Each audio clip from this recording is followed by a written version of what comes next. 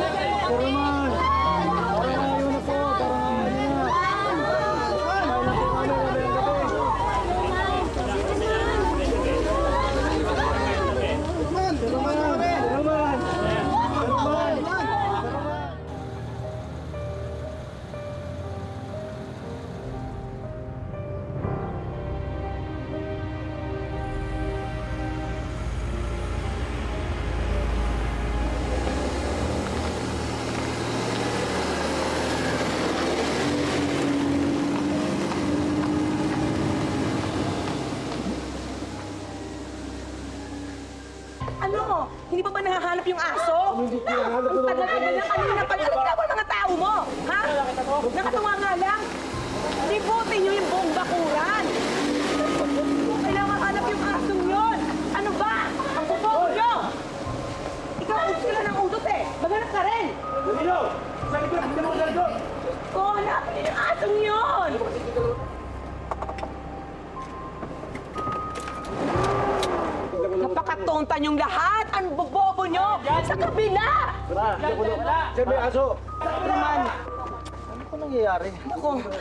may asong ululo nakapasok dito sa bahay natin. At itong isang maid natin, iniwag bukas yung gate. Sige po, My makalma lang. God, napakatonta ng mga tao dito. Anong calm down? How can I calm down, Roman? Matik na ako makagat ang asong yon. Hanapin niyo! Ano ba? Huwag tira nyo! Bilis!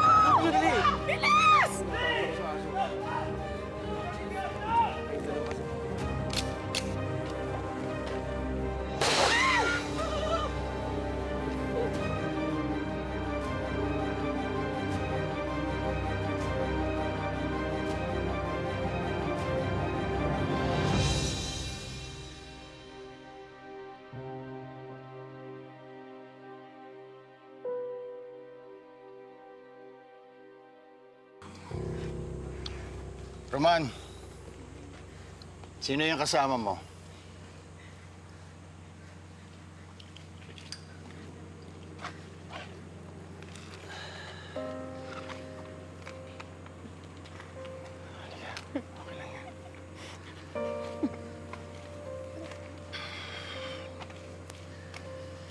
Ma, Pa, I want you both to meet Clara.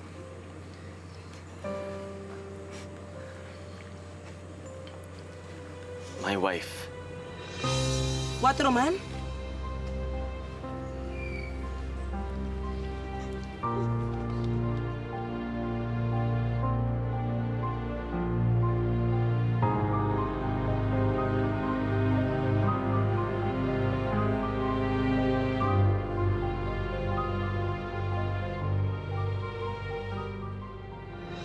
Matagal kang nawala.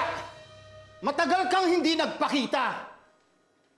Babalik ka dito tapos yan ang ibabalita mo? Pinakasalan mo ang kaibigan ni Leda? Hindi mo na inisip ang sasabihin ng ibang tao! Papagod na ako mag-isip kung sasabihin ng ibang tao! Just this one time, I wanted to make my own decision. Wala naman masama sa ginawa namin ni Clara eh. Anong wala?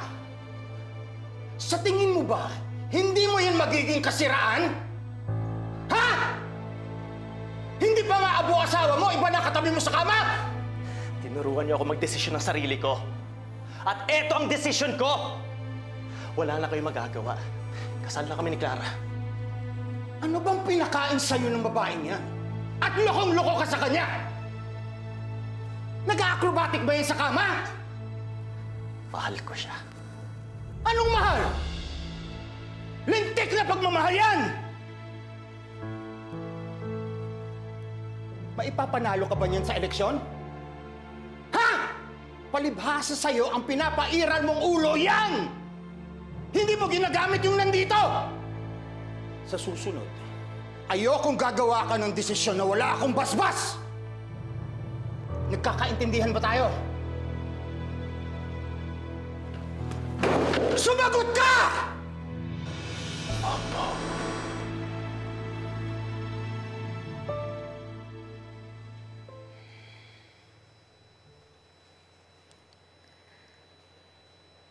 Hindi mo ba iinumin yan?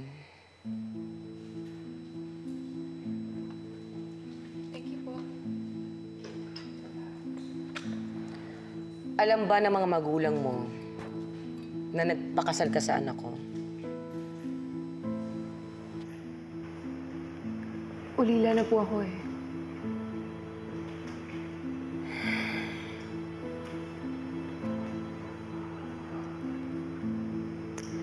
Saan ka ba galing? Sa Quezon City po. Anong trabaho mo? Interior designer po.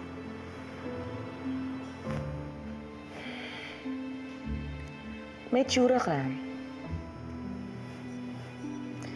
But that's not enough to make it to this family. Alam mo naman siguro ang posisyon namin sa bayang to.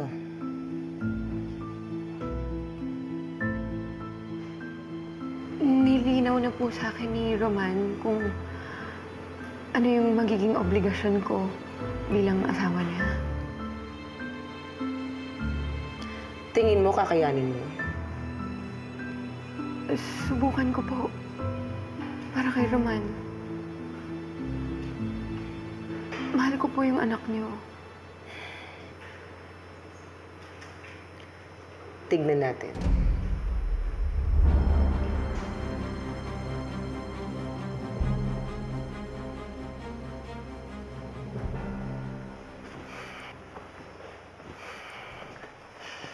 Hey, ma.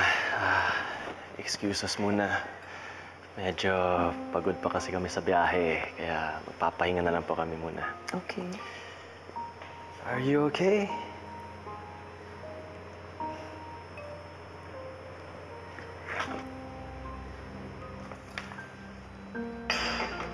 Thank you po ulit. Okay. Excuse you're us. welcome. Nag-rest na kayo. Opo.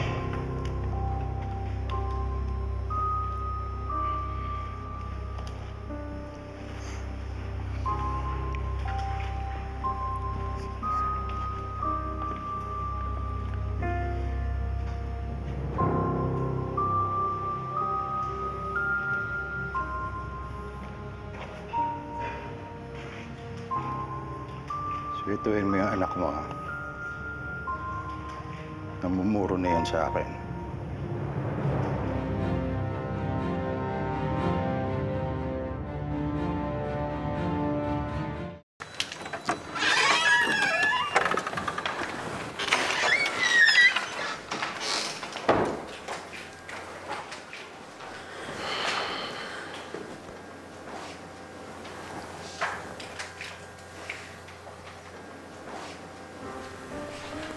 Tama ba itong ginawa natin? sa akin ng mga magulang mo. Hey, hey. Sa ngayon lang yan. Kapag nakilala ka na nila, magugustuhan ka rin nila. Dapat kasi nagpakilala muna ako bago tayo nagpakasal. Yun lang. Dahil kung in-inform ko muna sila, pipigilan nila tayo. Ayoko nun. Ayoko maghintay. I wanted you. There and then. Hey, come on, come on, come on, come on. Come on, huwag ka na mag-alala. I'm right here. Hindi ako mawawala sa tabi mo.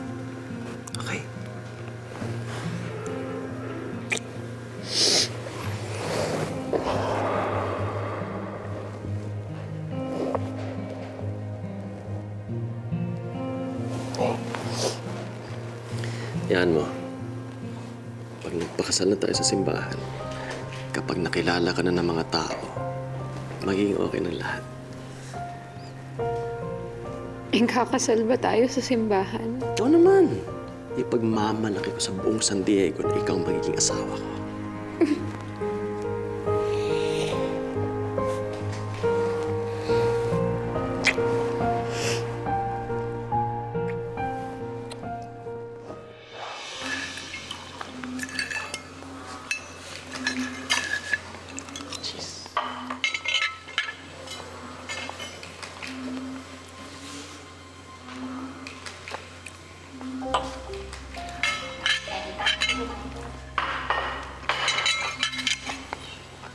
Balita na ang tungkol sa kasal niyo sa simbahan. Maraming mata ang nakatingin sa inyo ngayon. Roman, ayusin mo lahat ng kilos mo.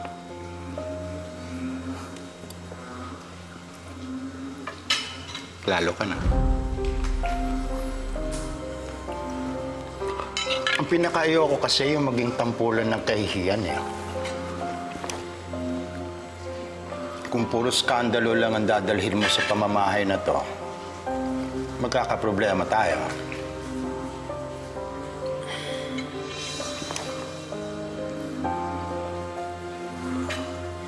Pa, Sasabihin ko kung anong gusto ko, bahay ko to.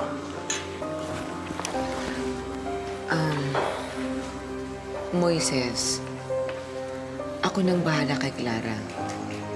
Ituturo ko sa kanya lahat ng responsibilidad niya.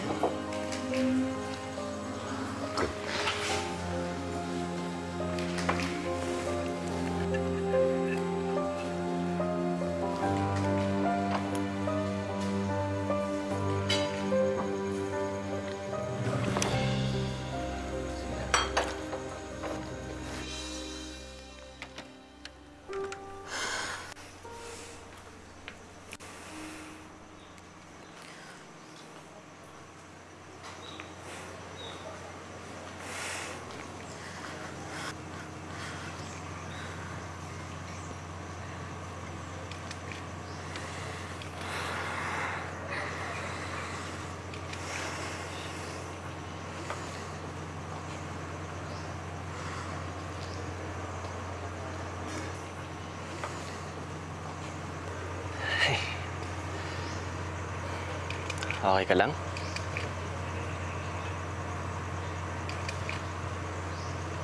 Ganun ba talaga sila kahigpit?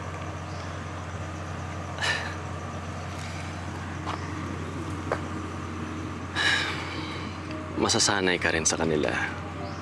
Pero hayaan mo. Pag naging mayor na ako, magbabago ng lahat.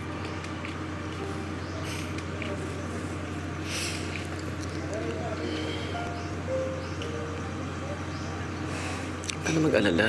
Ha?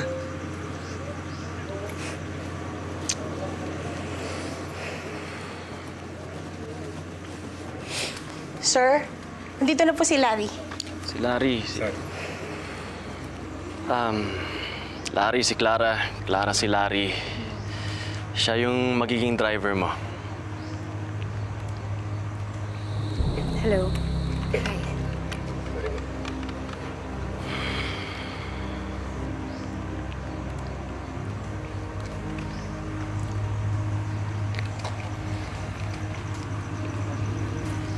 Hindi na kailangan. Sanay ako mag-drive. But I insist. You know, it's for your own safety. Tsaka mas mapapanatag ako kapag alam ko na may lagi kang kasama. Sanay akong mag-isa at saka 'di ba sa Manila ako nagde-drive sa sarili ko? Clara, ayoko ng pagtalunan to. Kailangan mo ng driver, okay? Para sa'yo rin naman to eh.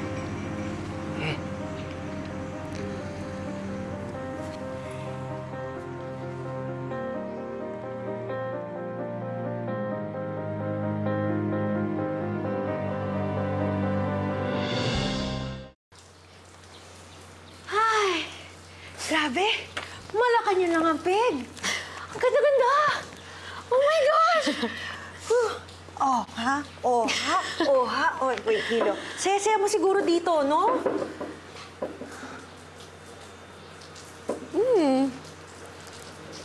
Mabait sa akin si Roman. Oh, I like that idea. I like it. Yes, o baka, Mayora. Denise, baka gusto mong mag-coffee No, thanks. muna. Later na lang po. Are you sure? Sure po. Okay, Clara. Good morning, Ma. Good morning. This is Denise. Siya ang magiging wedding coordinator mo. Good morning po. Good morning, Clara. Ang ganda mo pala. Good morning. Anyways, napag-usapan na pala namin ni Mayora ang mga detalye. Filipiniana ang tema natin. Susunduin ka ng karwahe, ipaparada ka sa plaza, at bago ka, idiretso sa parokya. Wonderful. Ma?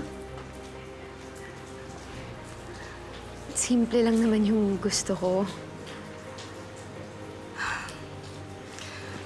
Anong simple? Kailangang enggrande ang kasal yun ni Roman. Gusto mo bang mapahiya kami? Isa kang agire. Agire.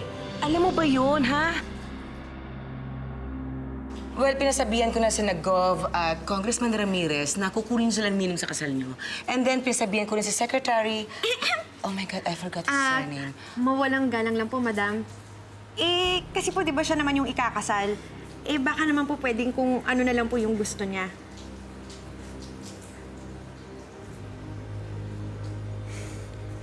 Susundin mo ang gusto ko. Kung gusto mo magkasundo tayo.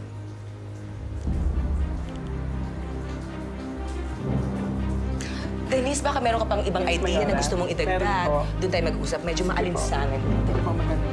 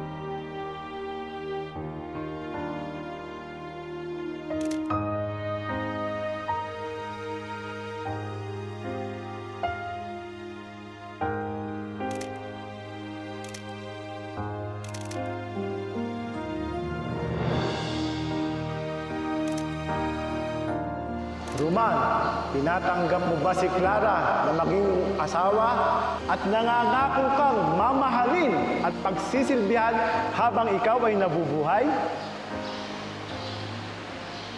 Opo, Father. Clara, tinatanggap mo bang maging asawa si Roman at nangangako kang mamahalin at pagsisilbihan habang buhay? Opo, Father.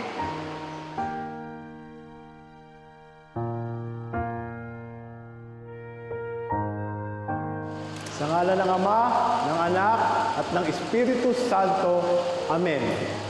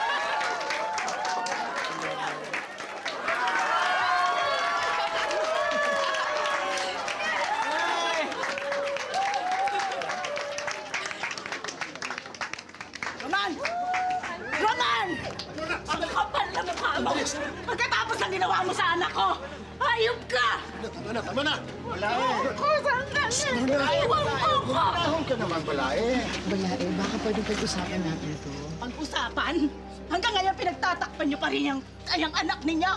Lorna, sige na, tama na, tama na. Pagpasensya na yung asawa. Iwan mo Sige ako. na, sige na, tama na. Lalaban Iwan tayo, mo pero hindi ako. sa ganitong paraan. Ano ba? Dahil Tama na. sa'yo namatay si Leda, demonyo ka! Siya ba? Siya ba yung pagpapalit mo sa anak ko? Siya ba? Mana? Pwe! Magsama kayo sa impyerno! Lorna, tama na, sige na. Bitiwan Tama na, mo! tama na. Pagpasensya na yung asawa ko. Lorna, wag! Bitiwan mo ko ang namatay tao! Na hindi ko pinagsisihan na pumayag akong pakasalan mo ang anak ko! Hawakan yung asawa ko. Huwag niyo hawakan ang asawa ko. Balae. Sige na, ako na bahala. Roman! Huwag mo ako talikuran! Huwag mo na, sige na. ako talikuran, Roman! Lorna, Lorna, sige na, tama na. Tama na, tama na. Hanapan natin yung ustisya anak natin, pero hindi sa ganitong paraan. Sige na. Huwag mo ako talikuran, Roman! Hanapan natin yung ustisya anak natin. Hindi sa ganitong paraan. Nandito, kumalma ka! Tama na, Lorna!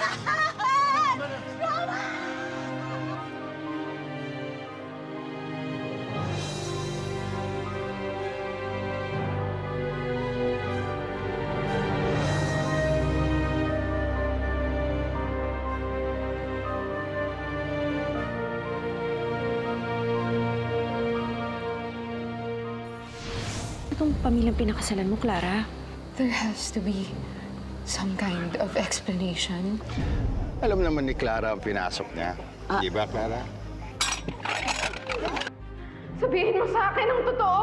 Yung mga gusto mo, open the door. You want to know the truth? Ikaw nang bahala dyan sa manugang mo. Ayoko na magkaroon pa ng problema dito! Para sa'yo, inosente yung asawa mo.